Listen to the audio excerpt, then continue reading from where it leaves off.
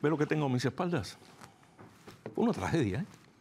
Bueno, surgen nuevos detalles de la mortal colisión que involucró a un autobús escolar y un camión de cemento que dejó, mire, mire, mire, mire cuando se vuelca el autobús, que dejó dos muertos, entre ellos un niñito de cinco años de edad. Nero fue mayor desde Austin, Texas, revisó los documentos archivados en la corte, los cuales hacen revelaciones sobre el presunto responsable de esta tragedia. El Distrito Escolar del Condado Hayes publicó hoy las grabaciones de las cámaras del autobús de la primaria Tom Green. No tiene audio, pero muestra cómo a la una con casi 59 minutos de la tarde del viernes pasado, el camión de concreto de la compañía FJM cruza la línea divisoria de la autopista estatal 21 cerca de Caldwell y choca con el transporte escolar que viajaba al sur. La segunda máquina luego se vuelca con violencia. Sash Cahalan dirige la coalición para la seguridad de camiones.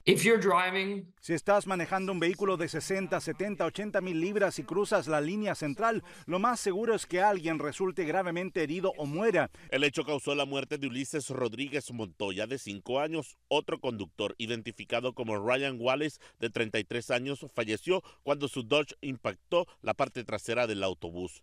Decenas de preescolares y varios adultos resultaron heridos.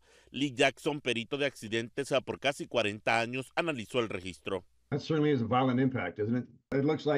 Ciertamente es un impacto violento, ¿no? Parece que está justo en medio de la carretera y no veo, no veo la cara del conductor en este punto. Normalmente lo que se vería en este momento es al conductor del camión en completo modo de pánico y no veo eso aquí, lo que me lleva a creer que se ha desviado por el lado de la carretera y no es consciente de ello. Eh, choqueate a madre, bro. ¿Con quién? Pues no sé, carnal. Está bien jodido.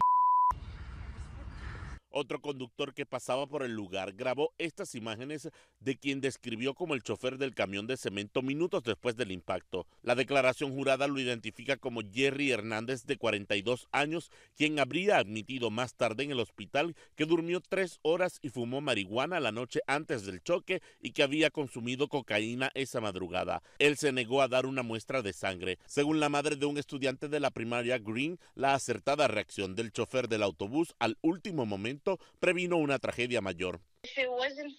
Si no hubiera sido por su sincronización, sinceramente podría haber sido peor. Todavía no se entablan cargos en relación con el hecho.